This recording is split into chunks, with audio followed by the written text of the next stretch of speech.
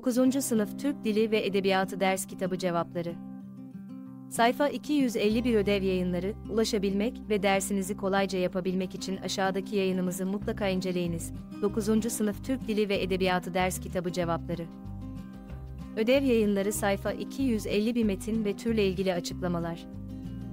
Blog, kişisel web sayfası olan blog, genel ağ günlüğü olarak da kullanılan, yazarların kendi bilgi ve deneyimlerini paylaştıkları web tabanlı yayındır.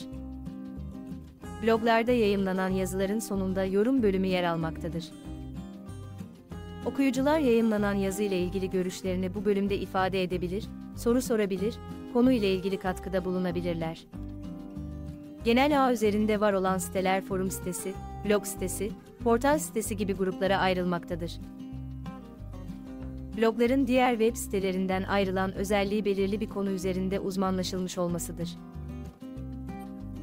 1999 yılından itibaren servis sağlayıcıları blog hizmetini ücretsiz vermeye başlamıştır. Blog 2005 yılından sonra Türkiye'de yaygınlaşmıştır. Sibel Unur Özdemir'in bu yazısı, Mutluluk Budur işte başlığıyla blogunda 24 Mart 2008 tarihinde yayımlanmıştır. Blog edebi özellik taşımaktadır. Yazarın öyküleri, şiirleri, deneme ve söyleşi türünde yazdığı eserler ve kitap tanıtım yazıları blogda yer almaktadır. Blogun sonundaki yorum bölümünde okur görüşleri yer almaktadır.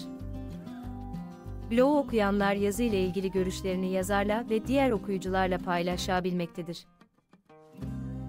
Blog yazarı, okuyucu görüşlerini değerlendirmekte okuyucuya cevap verebilmektedir. Birinci metnin konusunu, yazılış amacını ve hedef kitlesini belirleyip aralarındaki ilişkiyi değerlendiriniz. Cevap, metnin konusu insanların ellerindeki güzelliklerin farkında olması gerektiğidir. Yazı, bunun farkında olmayan insanlara bunu hatırlatmayı amaçlamaktadır. Yazının hedef kitlesi belirgin bir kitle değil yazarın blog sayfasına girip yazıyı okuyan herkestir. İkinci blog ile günlüğü karşılaştırıp bunların benzer ve farklı yönlerini belirleyiniz. Cevap, ikisinde de kişisel duygu ve düşünceler dile getirilebilir.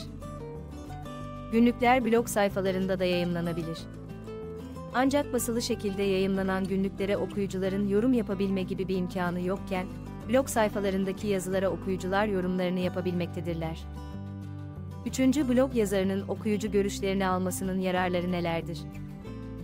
Cevap, yazar, okuyucuların yorumları ile olası bazı eksikliklerinin farkına varabilir ve bunları giderebilirler.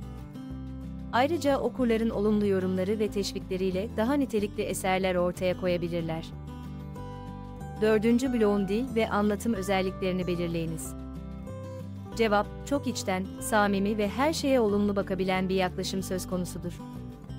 Bu durum, yazı ile okur arasında güzel bağ kurulmasını sağlamıştır. 5. bloktaki görsel unsurla metnin ilişkisini belirleyiniz. Cevap, yazıda anlatılanlar, insanı huzura, her şeye olumlu bakmaya davet etmektedir. Blogdaki karlı, sakin, huzurlu doğa görseli de insanı yazıda anlatılanlara hazırlamaktadır. 9. Sınıf Ödev Yayınları Türk Dili ve Edebiyatı Ders Kitabı sayfa 251 ile ilgili aşağıda bulunan emojileri kullanarak duygularınızı belirtebilir aynı zamanda sosyal medyada paylaşarak bizlere katkıda bulunabilirsiniz.